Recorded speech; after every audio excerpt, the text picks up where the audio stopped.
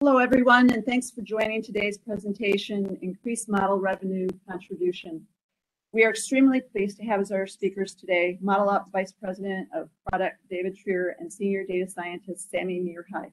With that, I'd now like to hand it over to Dave. Great, thank you. And just uh, audio check, can you hear me okay?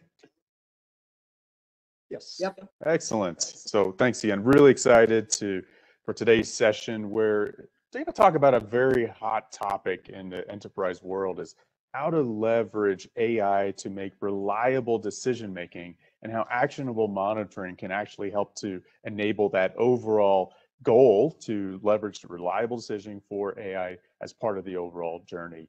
My name's Dave Trier. I'm the VP of Product. I've been with ModelOp for several years now, but I've been in the data analytics space for over a dozen years. And I'm joined by my colleague, Sami. Sami, you want to do a quick introduction?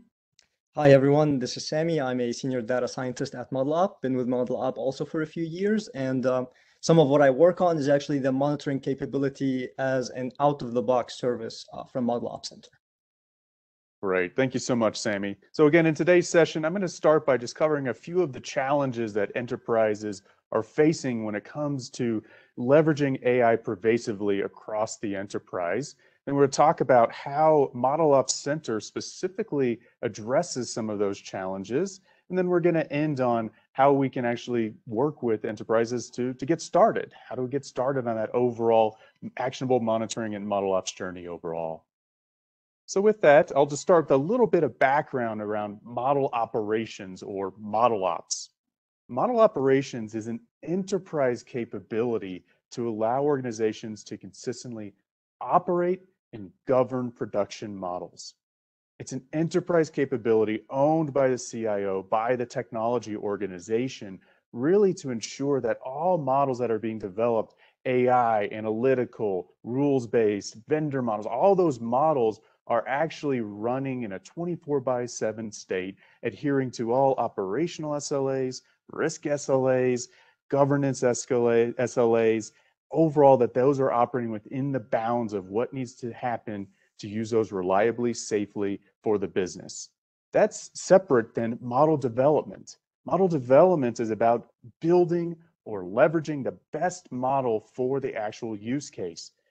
And overall, modern enterprises want to have freedom. They want flexibility to be able to develop models in a way that is leveraging the best of open source, proprietary data science tools, cloud-based tools, vendor models. You need to have business units have that flexibility to develop the models in their system and creation tool of choice, but still have consistent operations and governance again at the enterprise level because these models especially ai models are really affecting critical enterprise level business assets so today we're obviously going to focus on model operations and in particular actionable monitoring within model operations. Our software that we offer is called Model Ops Center, is the leading enterprise AI model ops platform. And what it does is it provides first and foremost a, a, centralized production model inventory. Again, back to what I mentioned is that organizations are using different model creation tools. They're developing with different languages and frameworks, on-prem, cloud, vendor models. It's really important for enterprise IT to have a centralized view of all models that are running across the organization, their impact to the business, and making sure that those are within risk compliance and other controls. That's what we start with that centralized production model inventory to have that view. It's a system of record for all models that are running in production for business decisioning. Second, then, is having automation. If you think about most of our enterprises, their overall AI strategy is to get to scale. They need to be able to scale across the different organizations, different business units that have different requirements. And automation, what we call our automated life model life cycles, is a underlying process engine that allows for all of the specific steps involved in getting a model to production after the model's been developed. Everything from a risk perspective, SecOps, compliance, IT, change review board, all of those steps that are involved in getting models into production. Then after it, all of the processes that need to occur to monitor the model and to remediate any actions. That's what we do with our automated process monitoring overall. And then lastly is having a 360 degree view of a model. A model is a living, breathing, enterprise level asset affect, affecting business critical processes. You need to have a view into it from when it was actually created to all the steps in its life cycle to when it's running into production and all the iterations and all the potential issues that are occurring. You need to have that visibility into the model, again, regardless of the type of model, where it runs, how it's executing, which business case it's serving. Now, specifically, Model Ops Center, our software is used really to for those three things. First and foremost is to productionize models in a safe, secure, and orchestrated, automated fashion. We leverage that automation I mentioned, that production model inventory that I mentioned, to ensure that all the steps are followed from a risk control IT perspective, and that's all auditable behind the scenes. Second, we get involved and our customers use our software, and the purpose of this particular webinar is for monitoring. But we take that a step further. It's not only about monitoring that any particular issue is occurring or a potential issue is occurring, but it's also about what do you do after the fact?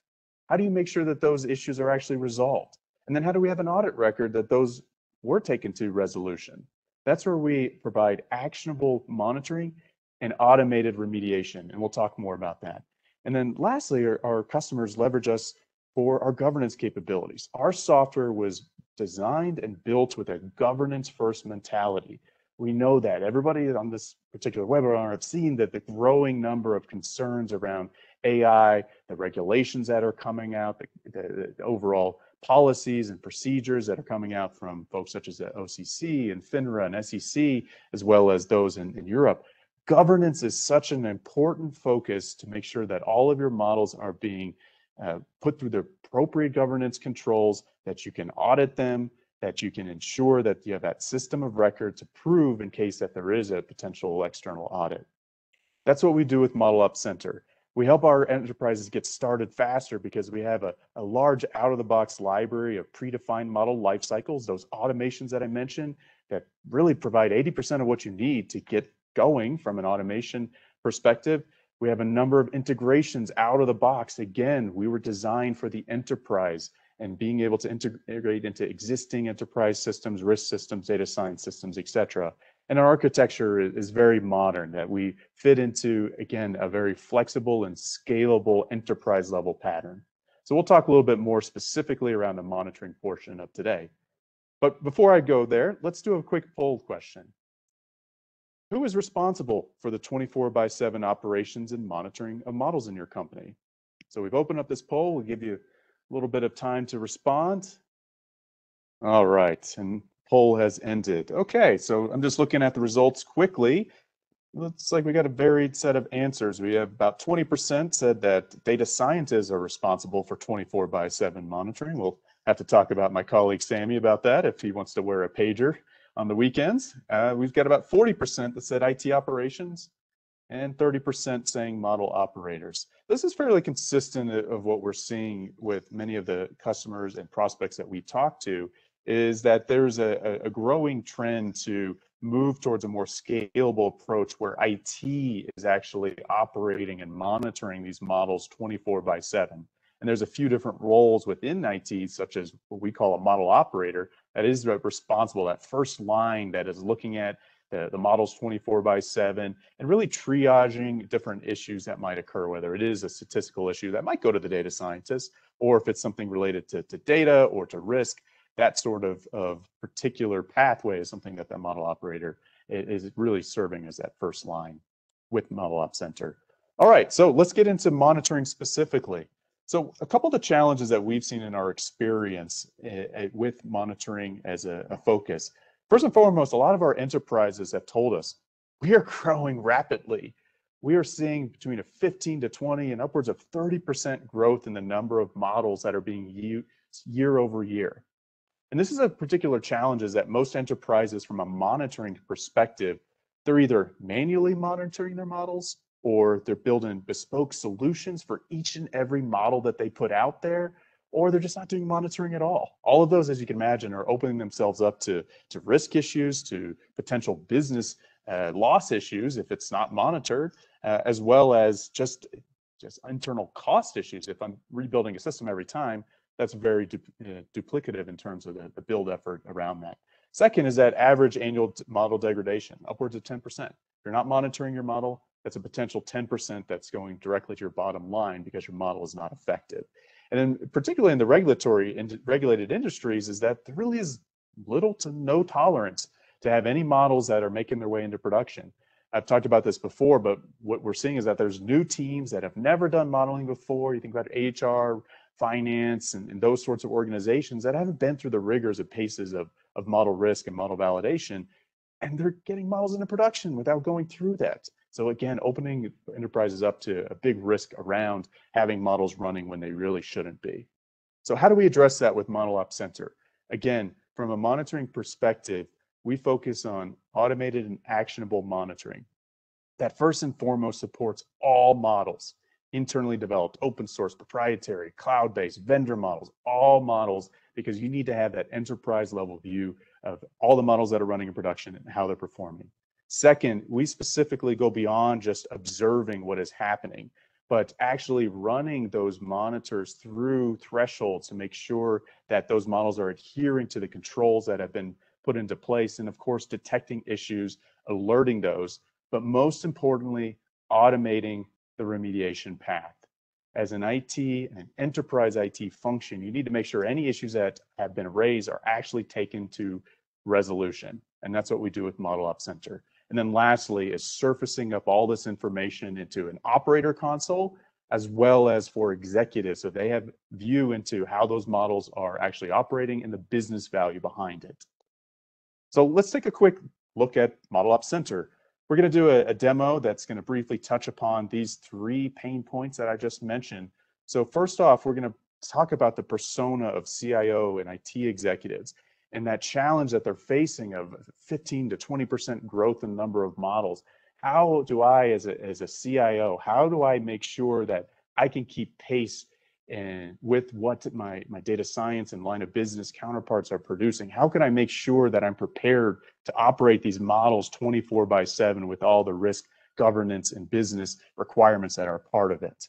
Second, we're going to go into a scenario where a real production issue happens, right? And so that's where we're going to play the role. I'm going to play this role of model operator, and my colleague Sami's going to play the role of a model risk executive where there's a production issue that is risk related. And we're going to walk through what happens and how Model Ops Center helps to drive the remediation of that particular issue. And then lastly, we're going to play the role of the executive who wants to understand how the AI program is going, how these models are running, from a production perspective, but also from a business value perspective. So with that, let's go ahead and jump right in.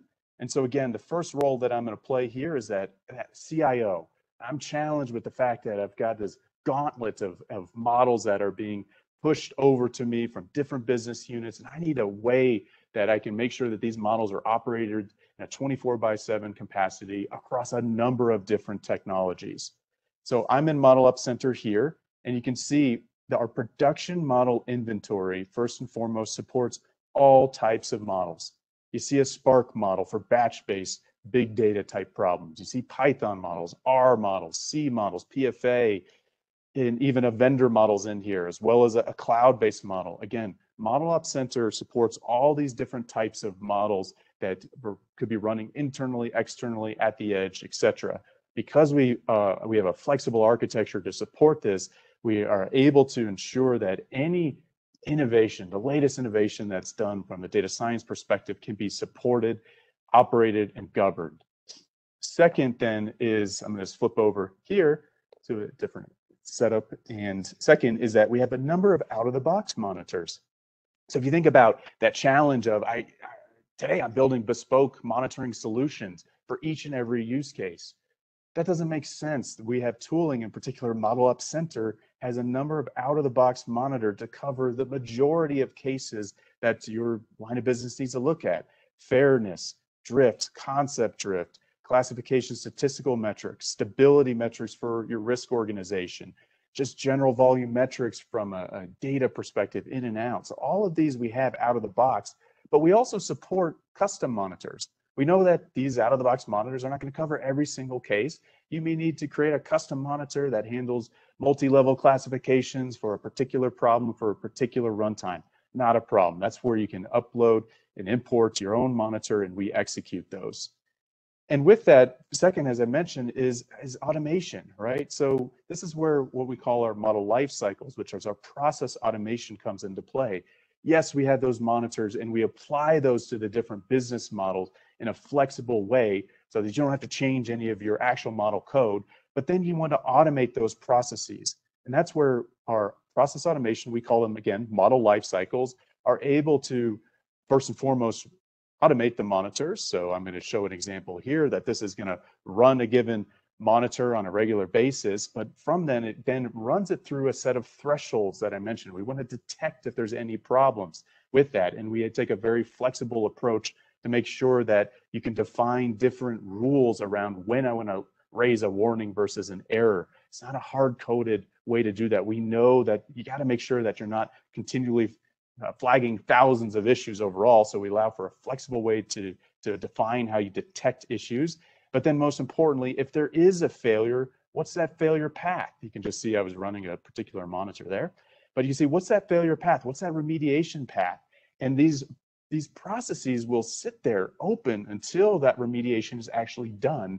And then lastly, it would actually attaches all of the record of what happened, the monitors, the results, and what actually happened from a remediation perspective to the actual model itself. So let's take a look at some of the, the, the actual outputs of these, and then we'll go into that scenario I just mentioned.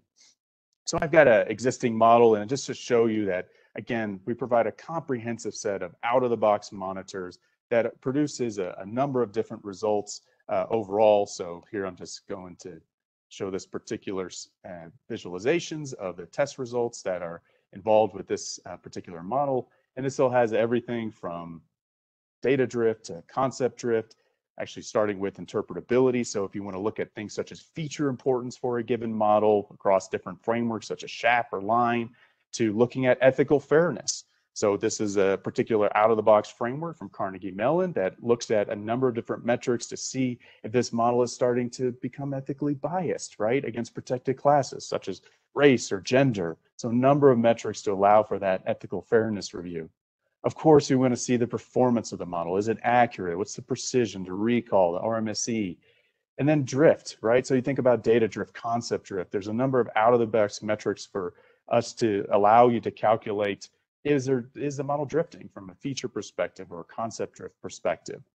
And then lastly, and scrolling down a little bit further, is looking at the stability of the model. So this is a very common thing in model risk is looking at the stability of the model across different features.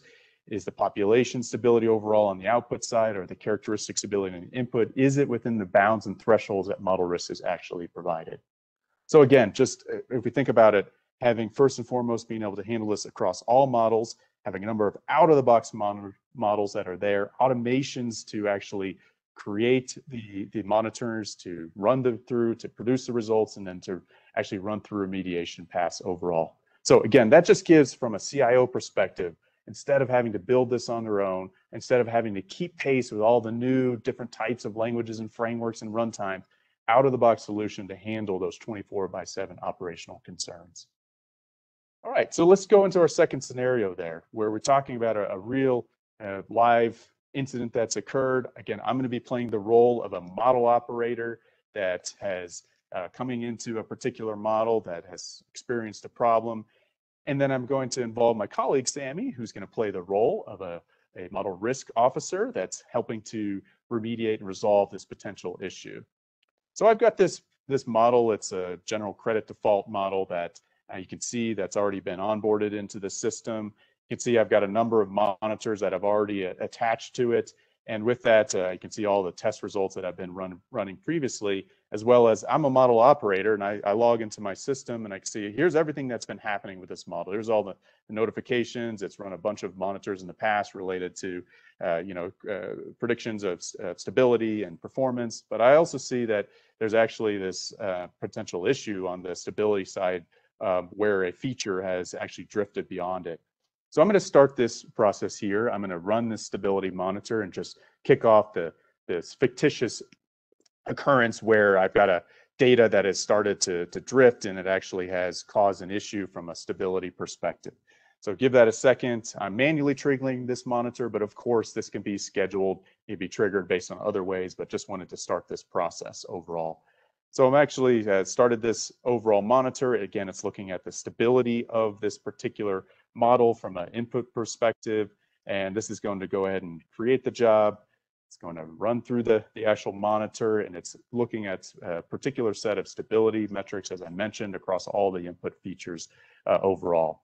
What's going to happen, like I said, is it's going to actually kick off this process. It's going to run through and you can see here it's actually running that particular test and it's going to fail that threshold, as I mentioned. And then from there, what's going to happen is because it identified that this is a, a risk issue, that there's a stability issue of the model, that it's actually going to open up a ticket for my model risk colleague, uh, Sami in this case, to take a look at this overall.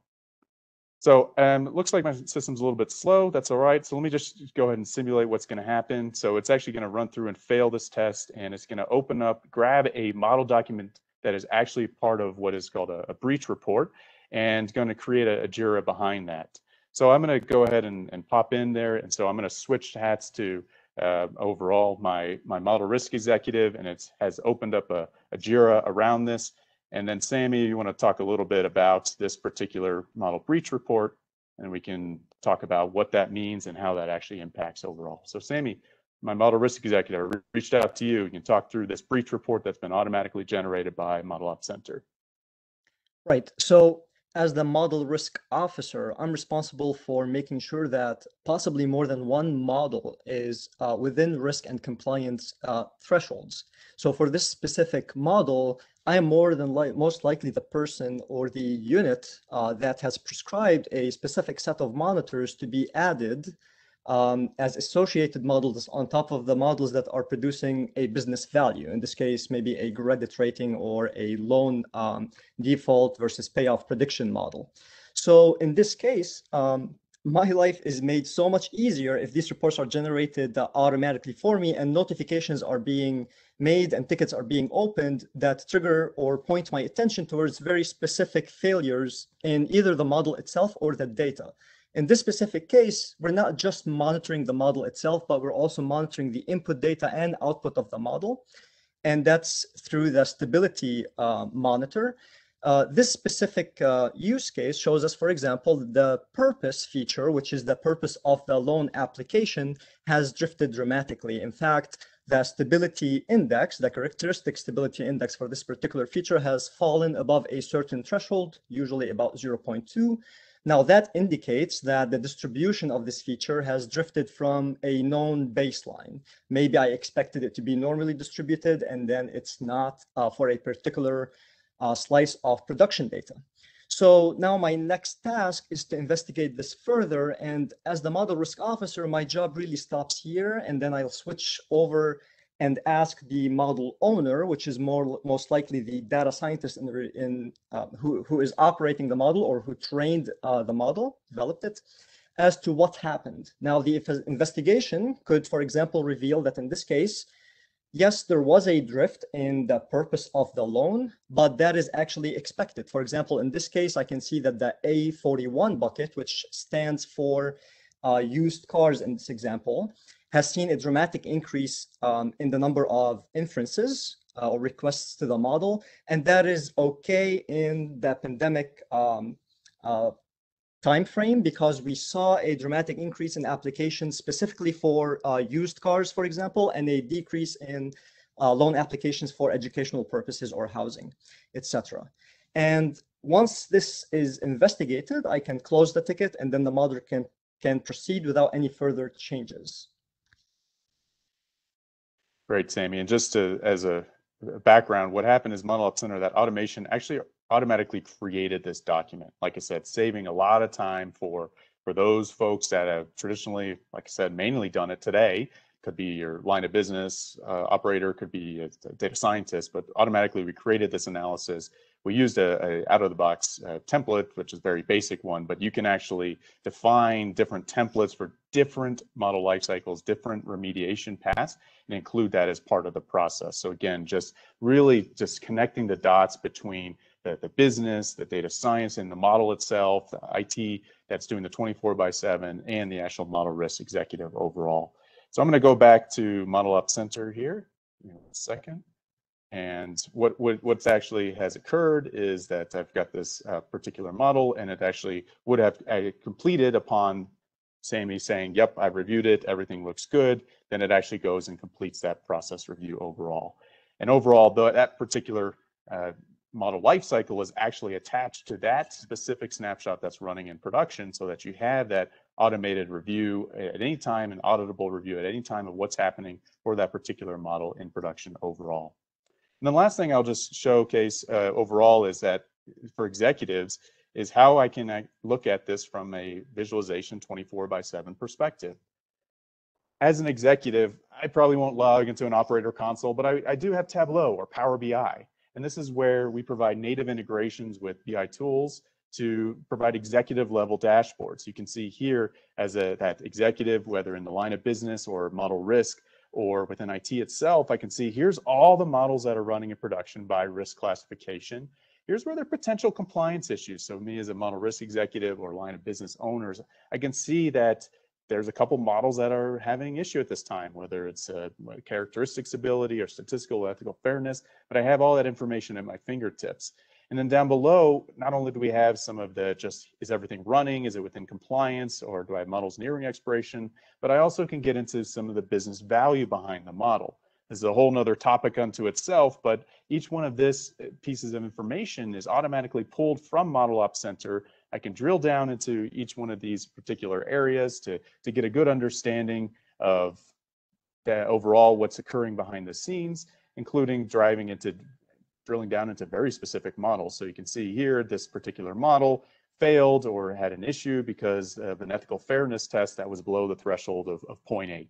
So again, as an executive, I can get all this information surface up into a, a visual dashboard on my desktop, on my phone with Tableau or Power BI, and then furthermore, like I said, it's not just the, the, the, statistical performance and the risk, but also the value of the model. This is where ModelOp Center is, is very differentiated in that we have uh, automations and some out-of-the-box capabilities to calculate and surface up the business value of the model. This is uh, those models that were in ModelOp Center. I've run monitors that calculate the business value overall, and I get not only a cumulative value, both the actuals, but also we have the concept of what we call projected model uh, value, where we're looking at based on historicals, what we what we believe the projection of the, the value will be. We have to wait till ground truth comes in, of course, but we get an idea over time, as you can see. Here's the, the projected model value, here's the actual model value. And this is a, something that, again, be pulled in model by model specific overall uh, with, with this Model Ops Center integration. So just a couple of, of highlights around how Model Ops Center really helps to address a couple of these major, major problems that we're seeing within enterprises. Again, in summary, we, we I only talked about and showed a few of the capabilities, but we have a very robust and comprehensive set of out-of-the-box monitors for operational monitoring, quality monitoring, risk-based monitoring, as well as process monitors. And what that means is that from an IT and business perspective, that we're ensuring that all models are, well, first and foremost, running within the operational SLAs, that they're providing reliable decisioning, that they're providing fair decisioning, but also that are running within the overall controls that have been set from a risk and policy perspective overall. And then moreover, like I mentioned, it's not just about detecting issues, it's about making sure that any issues are taken to resolution. And that's where our automated remediation comes into play with that, that strong, strong process automation that I, I mentioned before. So that was a quick tour of, of actionable monitoring with Model Ops Center. We focused really on the monitoring portion today. But overall, as I mentioned from the beginning, Model Ops Center, there are other areas that we often get started, whether that's helping to get models productionized much faster across all model types, whether that's in the risk organization or whether we're actually talking about scaled enterprise model ops overall. So we'd be delighted to talk more about any of these issues as we go and any breakouts after this. So with that, let me pause and leave a couple minutes for, for Q&A. We'll go and take a look at the chat. If you have questions, please do post them in the chat. Let's take a look at what we have in the chat thus far.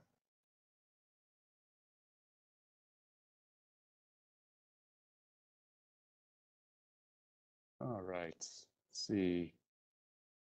The number of questions coming in.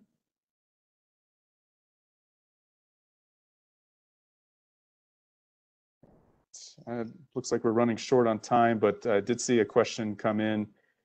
And it's related to, here's the question. Since remediation actions will be different based on the type of problem detected for a model and maybe even the type of model, how does that work? Yeah, that's a great question. I'll, I'll start and maybe Sami, you want to chime in as well. But what we see, as I, I mentioned, is that there's different types of problems overall. It could be a just the, the model infrastructure, the runtime problem. It could be a, a data problem just in terms of the pipelines. It could be a, a drifting data. It could be statistical. It could be ethical fairness. And really what we're seeing is that uh, the way that we do that in ModelOp Center is to define the different remediation paths in those model life cycles. And those are flexible in the way that we are able to define uh, multiple model life cycles, apply those to different types or classes of models or risk classification of models or where they're actually executing. And in that way, then we can ensure that, again, based on the risk classification or other, that we're taking those actual issues to, to resolution overall.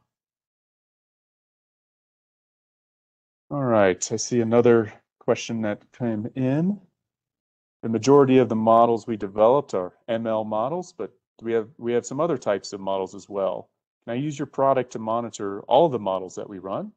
Are there limitations, the types of models that can be monitored with your product? Uh, great, great question. So as I mentioned from the very beginning, absolutely you can monitor all types of models. And that's really the norm with the modern enterprise. You have open source, proprietary model creation tools, cloud-based vendor models. You have models running on-prem, at the edge, in the cloud, or a combination of others regardless, ModelOp Center can monitor all of those types of, of models uh, across the enterprise. So great question overall. Let's see. How is ModelOp Center deployed? Is it a software as a service in the public cloud or can it be deployed in a private data center? Great question. ModelOp Center is actually deployed in your four walls, whether that's in your on-prem environment, whether it's in your private cloud environment. ModelOp Center is meant to be installed in your environment so that you can adhere to all your existing data and security infrastructure and other policies.